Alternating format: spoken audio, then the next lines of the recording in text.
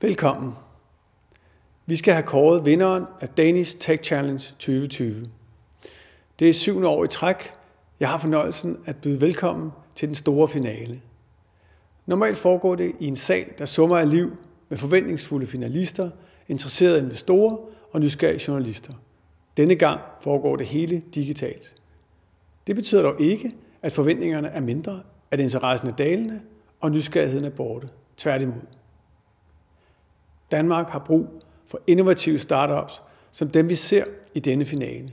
Finalisternes præsentationer, som er offentliggjort i denne uge og har ledt os frem til finalen i dag, er både tankevækkende og inspirerende. Hvem ved, måske ligger kimen til den globale virksomhed gemt her. Det er hårdt arbejde at opbygge en ny virksomhed, men også en sjov og medrivende proces. Det fik jeg selv en fornemmelse af, da jeg tilbage i oktober aflagde besøg i Futurebox og havde fornøjelsen at møde og tale med flere af de deltagende startups. Det er altid inspirerende at møde ildsjæle, der har noget på hjertet, som har en vision om at gøre en forskel, og som har modet til at kaste sig ud i at virkeliggøre deres drømme. Som finalister har jeg allerede taget det første store skridt på vejen mod at etablere en succesfuld virksomhed. Jeg ønsker jer alle sammen held og lykke. Inden vi når til dagens højdepunkt, skal der lyde en stor tak til Industriens Fond og DTU Science Park.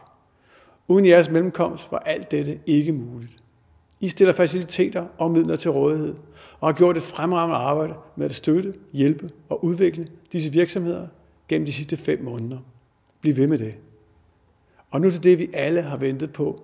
Det er tid til at afsløre og udråbe dette års vinder af Industriens Fonds iværksætterpris og en medfølgende check på 500.000 kroner.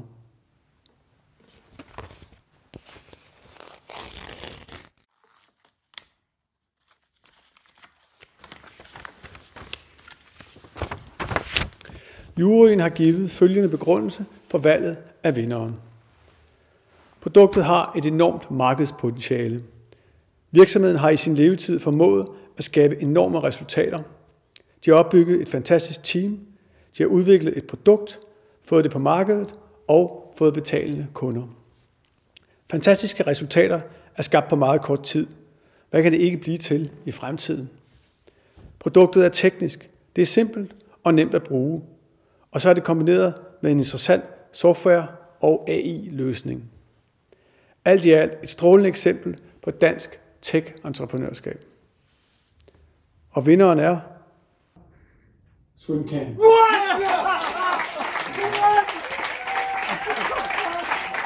Tillykke.